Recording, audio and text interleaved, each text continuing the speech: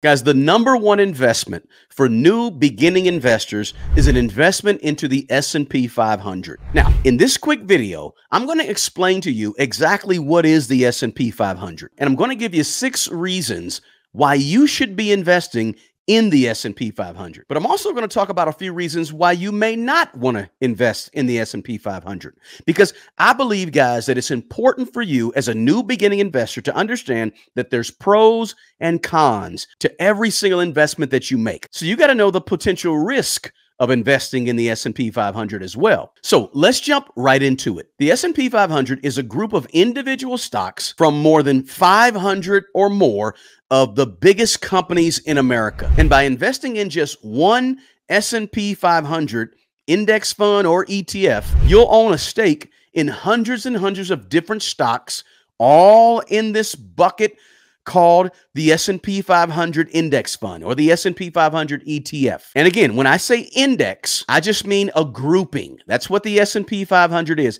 It's a grouping of the largest all in one index fund or ETF. And when I say the largest companies or the biggest companies in America, I'm talking about by market capitalization or what you commonly may hear referred to as market cap. And a market cap is just a measure of a company's size or said in a different way, market cap is the total value of a company's outstanding shares of stock. So when you hear small cap, mid cap, large cap, that's just talking about the size of the company. Small cap is small companies. Mid cap is middle companies and large cap is large companies. Now, an S&P 500 index fund or an S&P 500 ETF will track the performance of the S&P 500, which means if the S&P 500 does well, your index fund or ETF does well.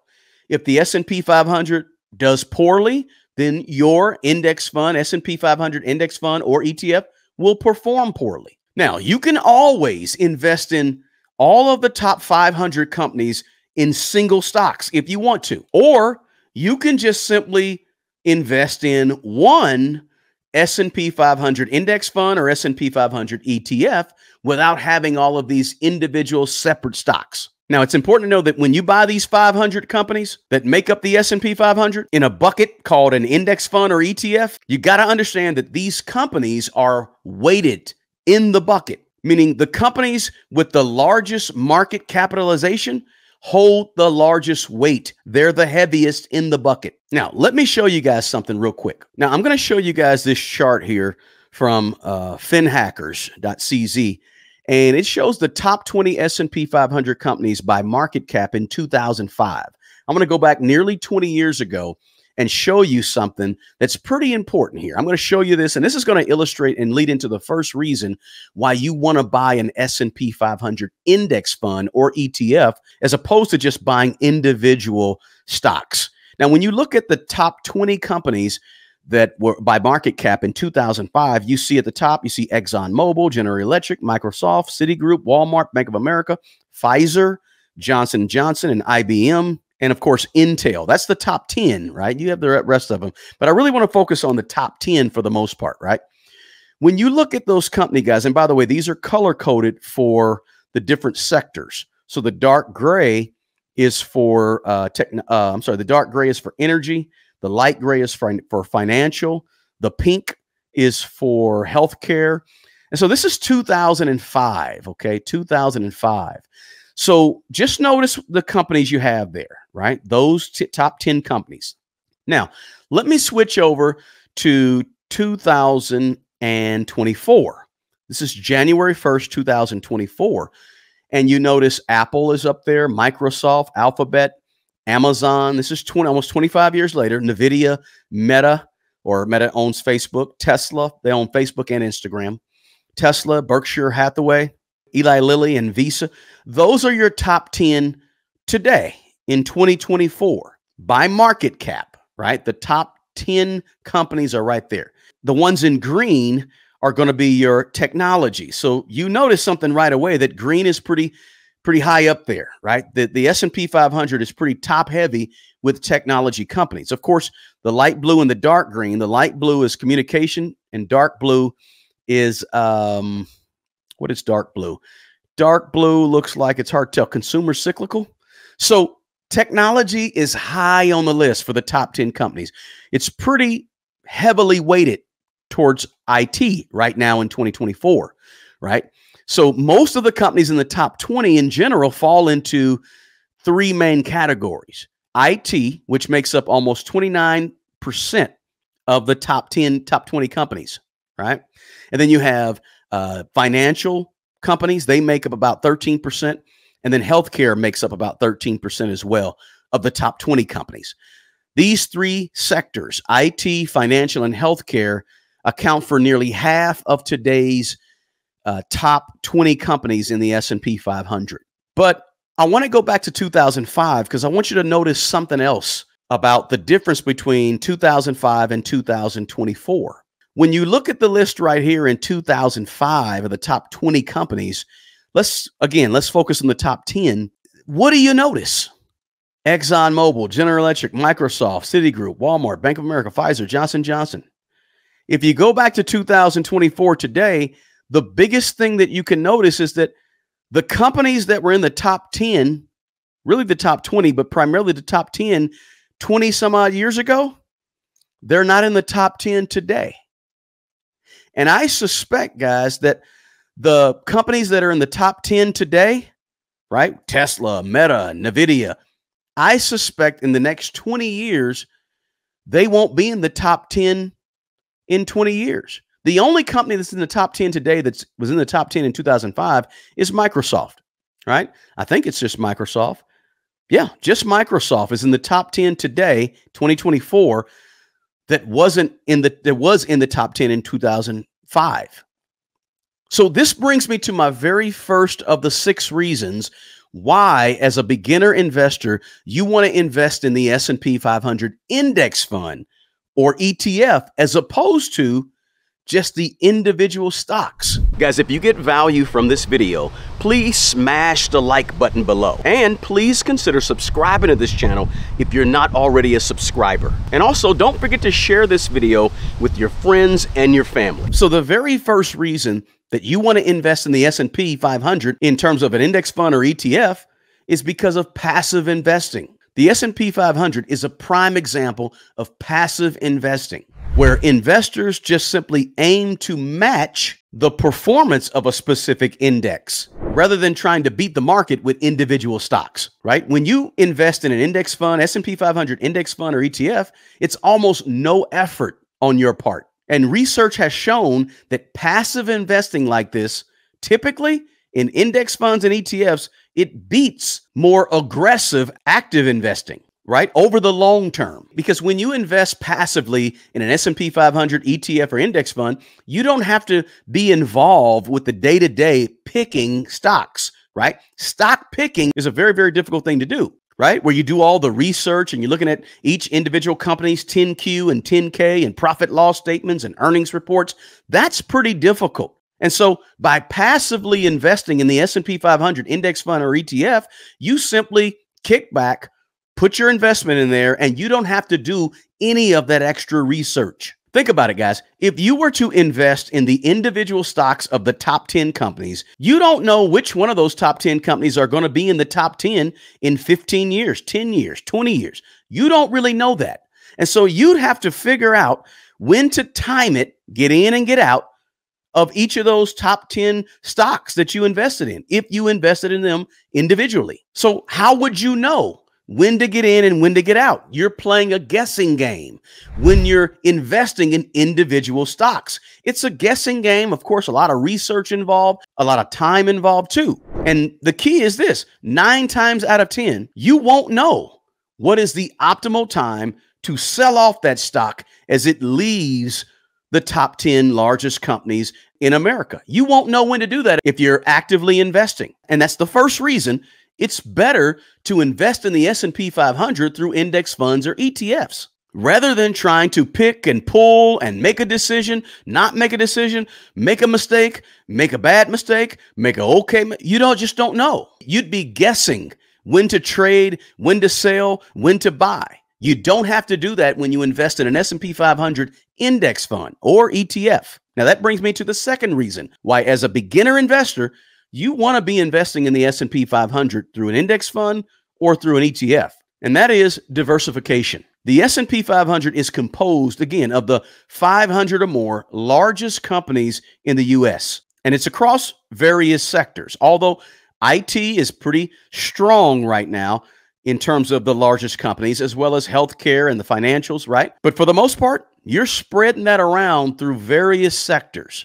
And so by investing in an S&P 500 index fund or ETF, you're gaining exposure to a broad array of different industries, which helps mitigate and spread out your risk, which is much better for a beginner investor than taking the risk of investing in individual stocks. Now, the third reason why you want to be in an S&P 500 in index fund or ETF is for the consistent long-term performance. Look, over the long term, the S&P 500 has historically delivered strong returns. While we know there can be periods of, you know, volatility and downward spikes here and there in the short term, for the long term, the S&P 500 index fund or ETF, it's going up. It's on an upward trajectory over the long term, right? If you believe in the growth of American companies over the next 20, 30 years, why not invest in 500 of the largest companies in America and hold it for the long term? Now remember, there's no guarantees when it comes to investing.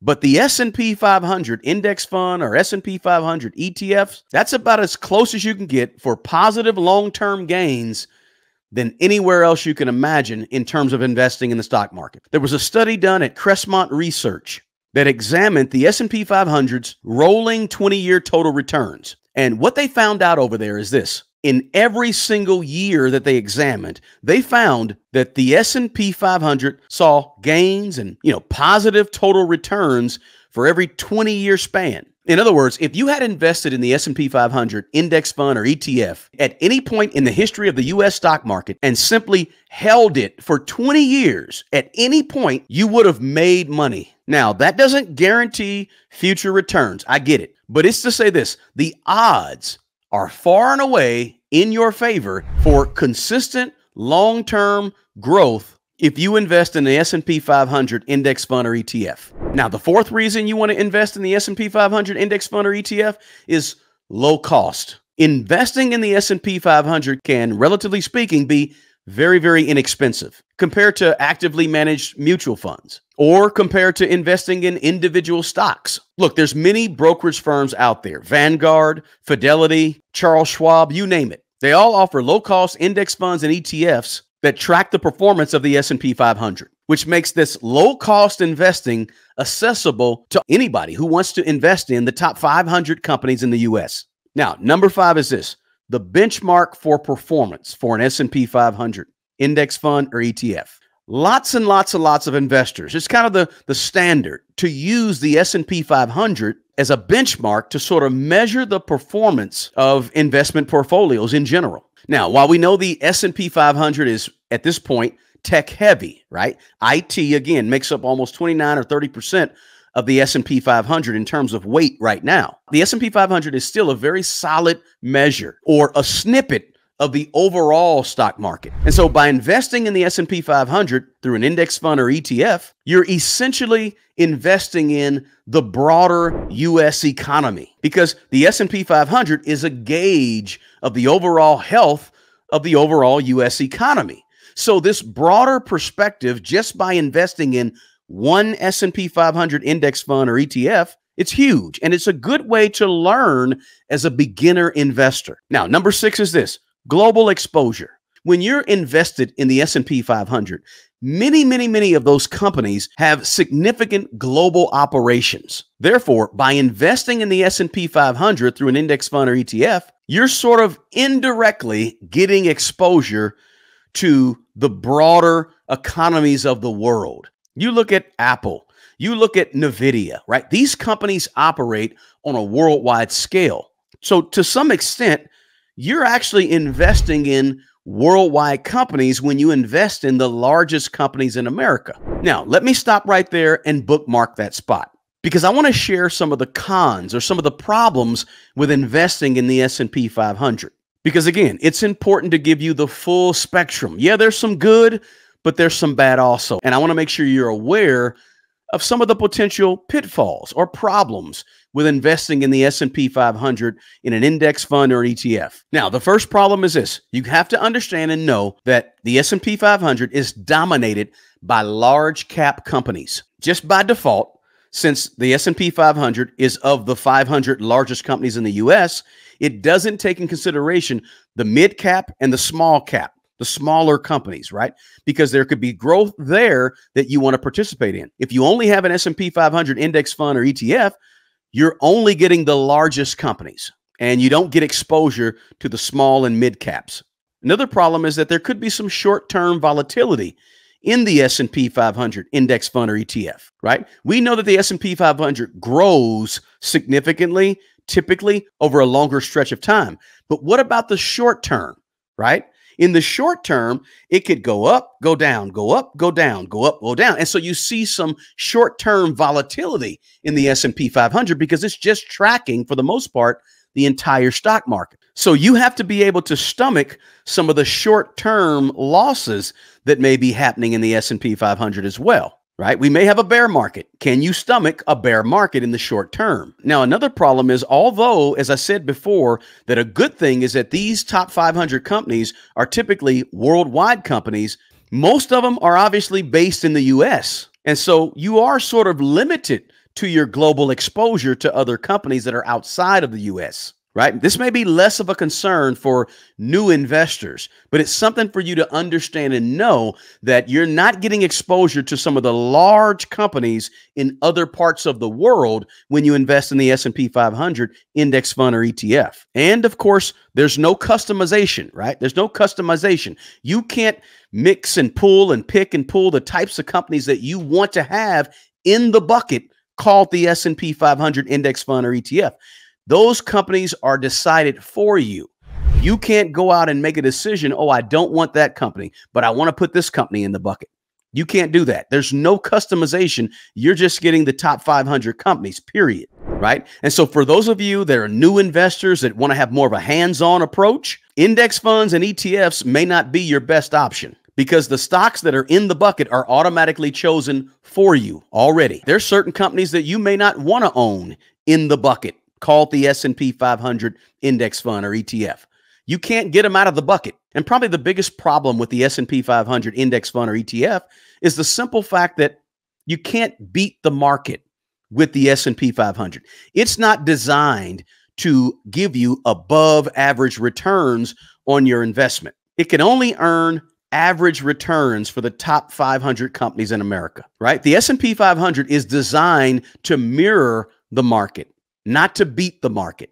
And so for many people guys, many beginner investors, the lower returns you may see with an S&P 500 is well worth the trade-off of the ease of investing into the S&P 500 as an index fund or ETF. It's very simple. And for a lot of new investors, it's that simplicity that's the draw as opposed to all of the customization and things that you can't get when you have an S&P 500 ETF or index fund. So that's some of the pros and some of the cons, right? Some of the things that are good and some of the things that you got to think about that aren't so good. Now, throughout the video, you may be wondering, well, why am I saying index fund or ETF? It's because they're essentially both the same thing or they're very very similar. An S&P 500 index fund and an S&P 500 ETF is still both a bucket of stocks of the top 500 companies in America. One of the differences between index funds and ETFs is that ETFs sometimes have a lower barrier of entry.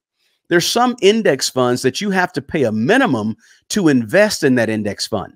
Where with ETFs, typically there are no minimums, no matter what platform you're buying your ETF on, whether it's Vanguard, Charles Schwab, Fidelity. Typically, with an ETF, there are no minimums. The index fund can be bought and sold at one set price at the end of each trading day, while ETFs or exchange traded funds can be bought and traded throughout the day. And so the price for an ETF fluctuates throughout the day. And so you can buy ETFs and trade ETFs just like you can with a regular individual stock. And you can't do that with an index fund. So that's the main difference, but that's why I kind of interchange those. If you buy an S&P 500 index fund, it's just the same, very similar as buying an S&P 500 ETF. But that's just a few differences between index funds and ETFs. Now, how to buy an S&P 500 index fund or ETF? You simply open up an investment account at one of the places I mentioned. Could be JP Morgan, could be Vanguard, could be Charles Schwab, as I said before, could be Fidelity any of those platforms, whichever one you feel more comfortable with, open up an investment account on that platform. You just sign up and get you a traditional brokerage account at one of those places or through, you know, some type of robo advisor, stash, Robinhood, you name it. And there you'll find different types of S&P 500 index funds and S&P 500 ETFs. Then after you open up that account, you just simply connect it to your bank and then you add funds. And when you add the funds, those are the funds that you're going to use to ultimately, when they get in your brokerage account, you're going to use those funds to go purchase what you want to purchase in terms of an S&P 500 index fund or ETF. Now, when looking at the different S&P 500 index funds and S&P 500 ETFs, here's a few things to consider and think about. First, tracking errors. Remember, S&P 500 index funds and S&P 500 ETFs, they simply want to track and mirror the performance of the top 500 companies in America. So sometimes there's tracking errors that you want to understand and learn about. And also, you want to look at expense ratios. How much does it cost to actually own the fund?